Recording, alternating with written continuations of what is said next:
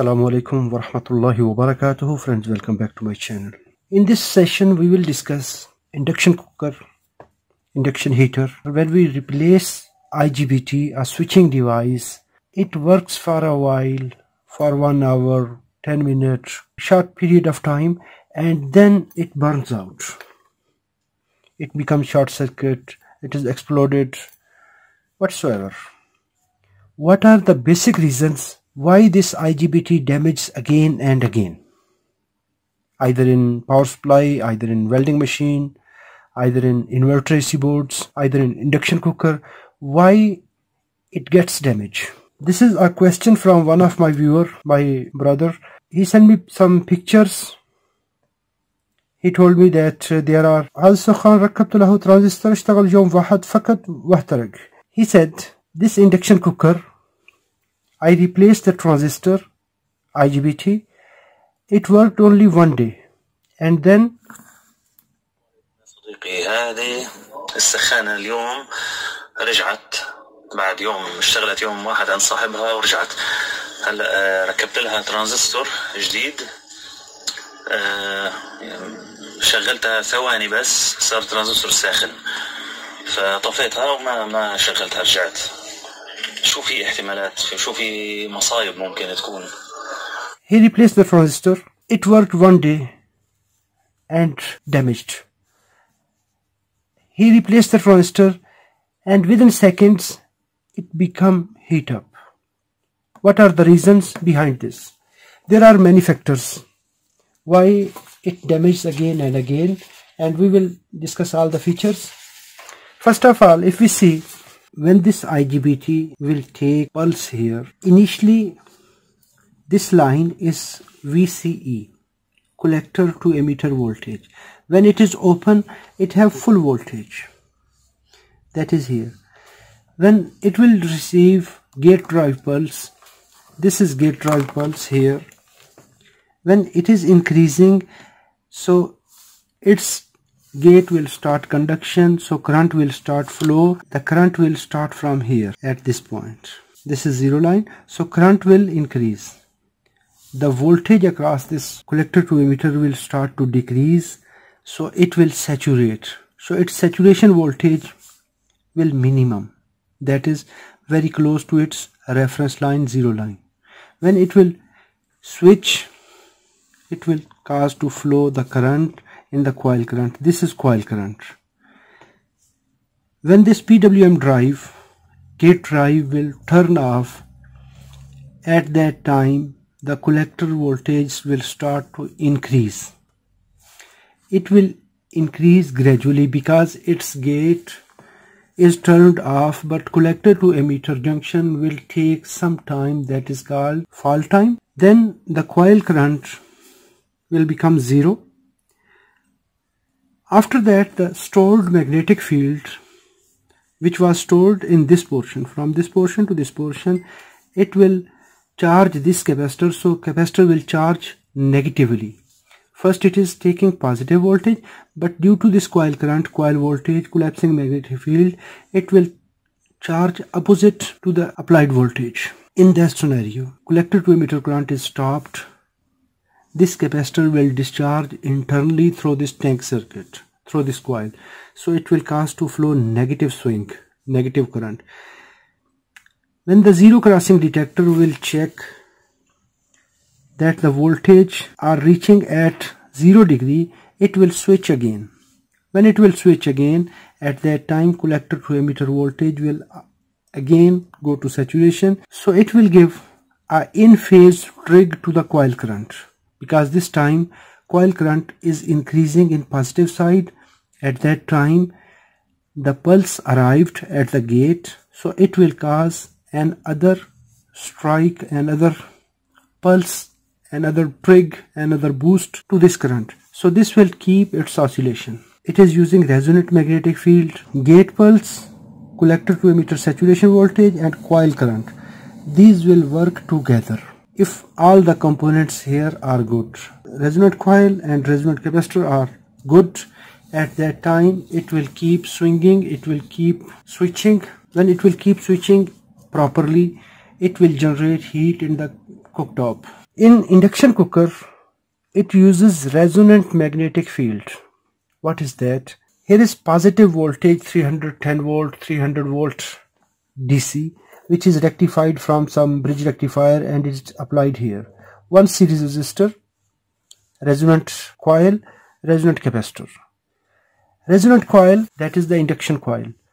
Then there is a resonant capacitor that is installed on the PCB. So these two components make a resonant tank circuit because inductor rarely it will change its value but the capacitor most of the time by the passage of time its charge holding capacity becomes low. The reduced charge holding capacity causes to change in resonant frequency. If the capacitor changes its value that means it will not complete a good oscillation. These are DC voltage on DC rail. We can say 310 volt. If you look this circuit it works like this. When the transistor is off at that time VCE voltage collector to emitter are high. Gate drive we can say IGBT PWM pulse width modulation signal. When the voltage are high on the collector to emitter at that time there is no current flow in the coil. When it will receive pulse at that time at the gate it received pulse these voltage will start to decrease and then it will become at VCE saturation. The gate is on and this IGBT will start conduction and the current will start to flow in the coil. Now at this point the current will increase. Now when the gate drive is off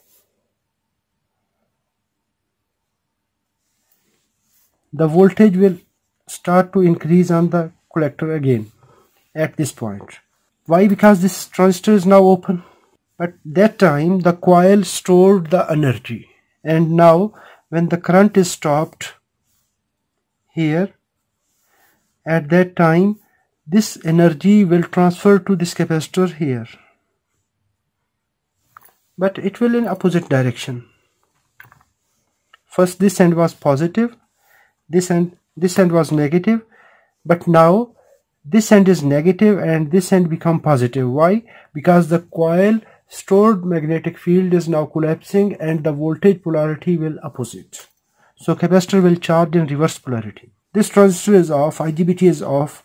The negatively charged voltage on this capacitor will discharge in the winding now. So current will flow in the coil. This will the opposite current.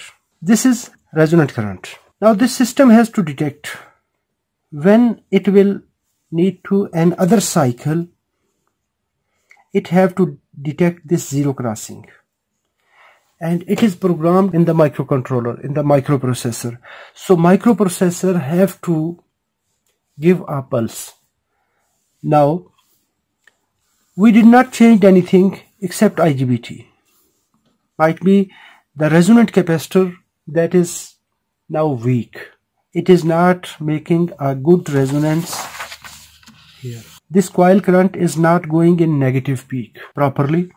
Zero detection circuit have to detect this current and then it have to generate a pulse. When it will generate pulse, at that time transistor will saturate again. When it will saturate, its internal resistance will decrease so it will drop minimum voltage.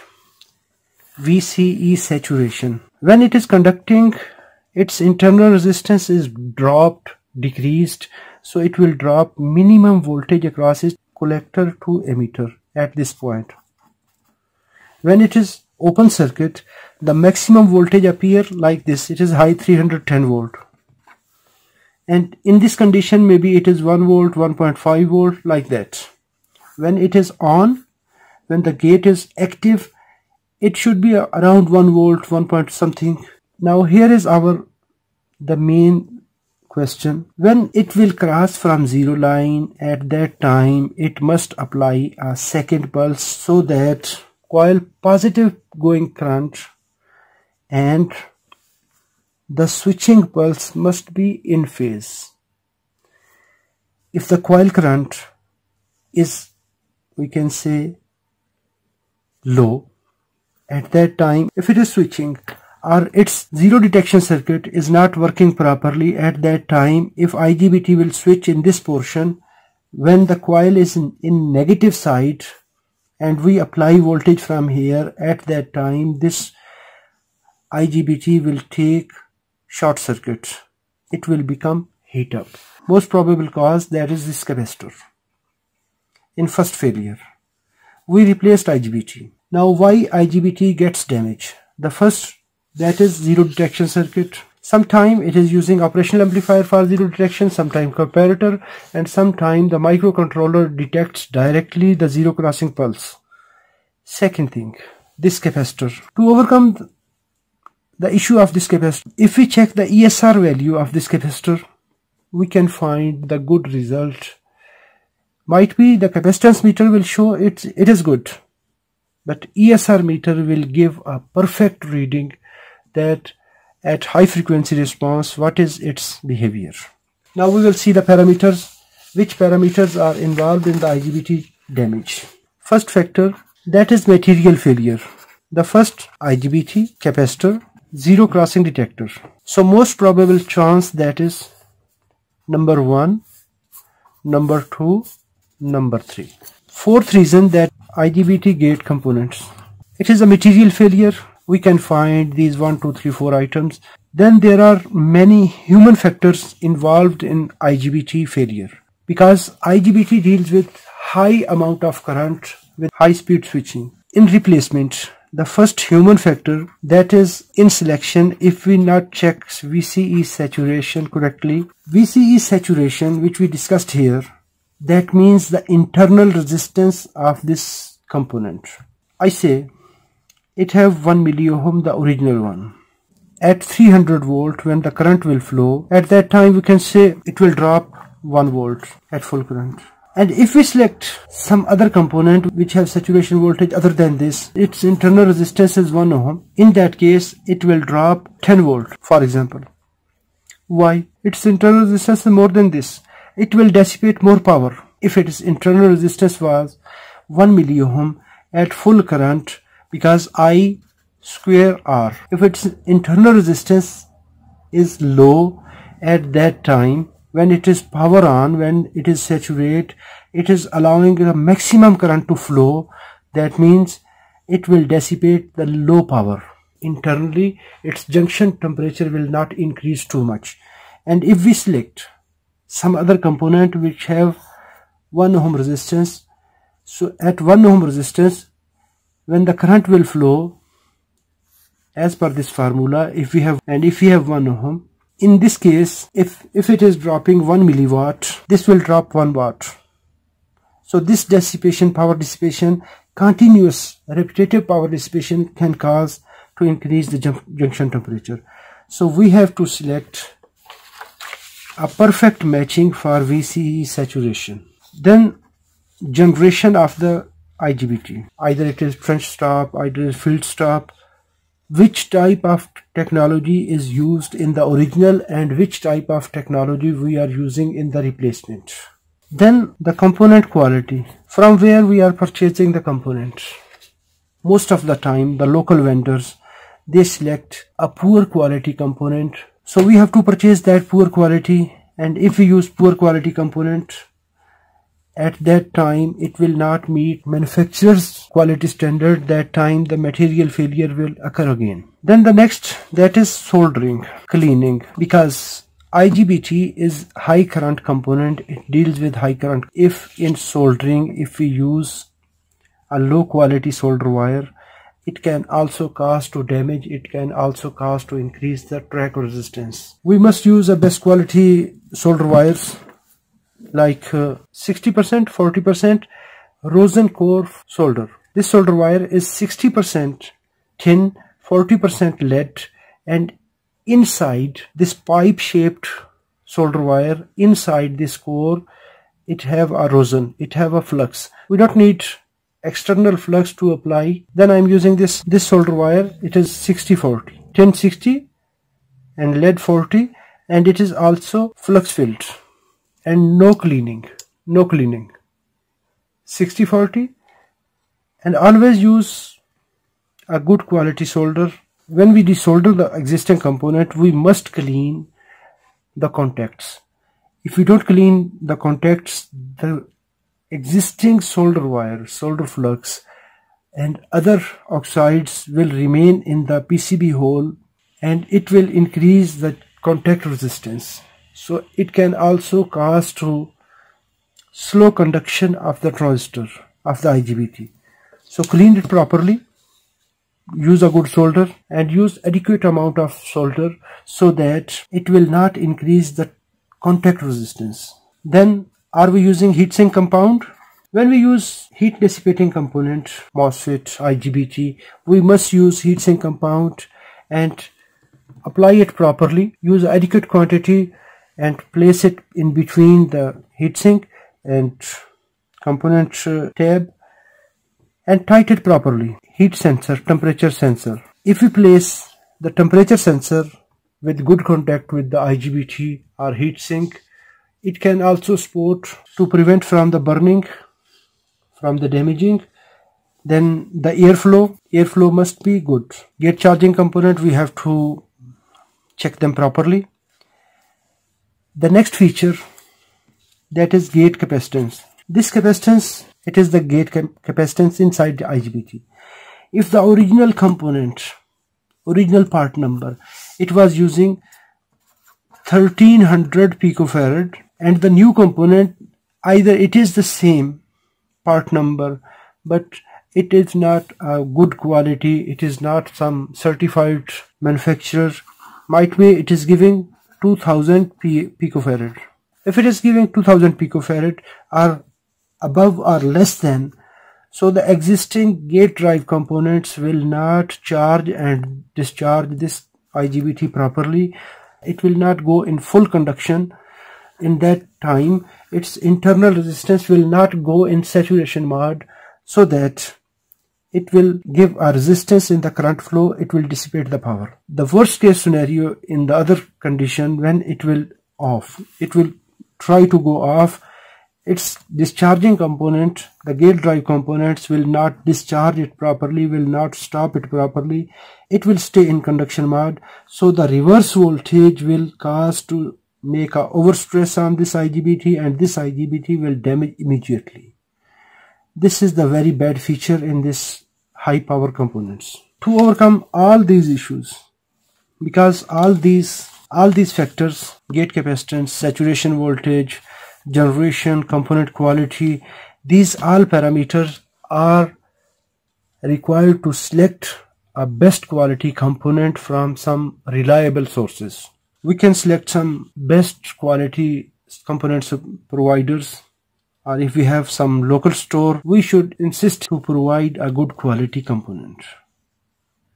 Especially in power electronics.